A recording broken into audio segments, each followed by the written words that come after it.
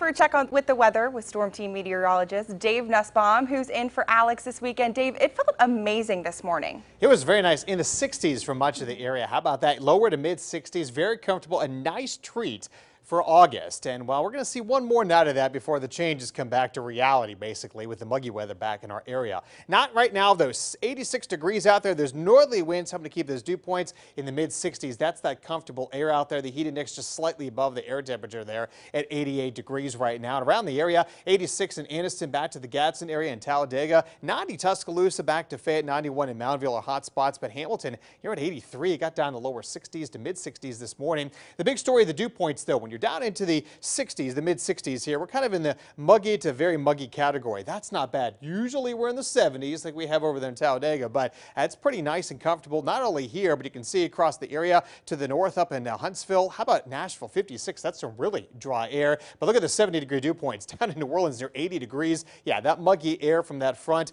it's down there, and it's going to stay down there for now, but eventually creeping back up our way. Seeing temperatures going from the 84 at 7 o'clock by 1 o'clock in the morning there at 73 and 5 a.m. for you early risers tomorrow. About 70 degrees will be our low here. 69 there in Alabaster to Clanton, Alex City, back to Anniston. 67 Gadsden, Ashville area, and Cullman. How about 66 in Hamilton? Looks pretty nice. That's going to be very comfortable. Great for that morning cup of coffee outside tomorrow morning. And you've been clear out there. A couple clouds, couple showers from Gadsden to Anniston earlier this afternoon. Most of those have now dissipated here, but really just looking at some pretty quiet weather because our front made it all the way down here to about the I-10 corridor, and that's where it's going to sit for tonight. But tomorrow, it's going to start creeping its way northward. Now, south of that, down in the Gulf waters, actually have a weak area low pressure kind of forming here in the northwestern Gulf. That's going to bring some much needed rain to Texas, and they're going to see that as there's a low chance for development with this system as it works its way toward Corpus Christi, headed back down towards, say, Brownsville, Texas area tonight and into tomorrow morning.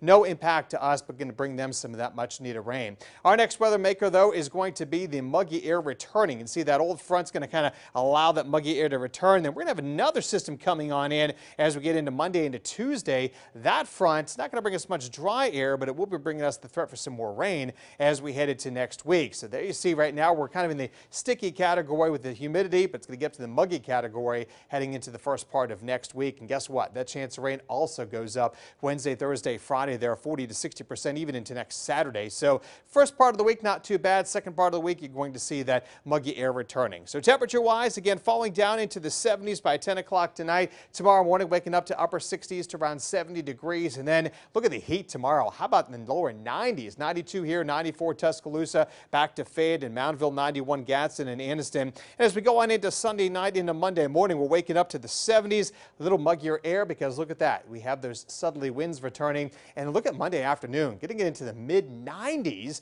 94 here, 95 Tuscaloosa, 96 degrees over in the Fayette area. Definitely be quite toasty out there. And we're going to see more of that kind of westerly wind coming on in. Still dry through Monday, but things will be changing though shortly thereafter. You can see Tuesday 92, few storms at 20%, but then here comes that rain Wednesday, Thursday, and Friday as the front lingers over the area. Only good thing is it's going to have highs into the mid 80s.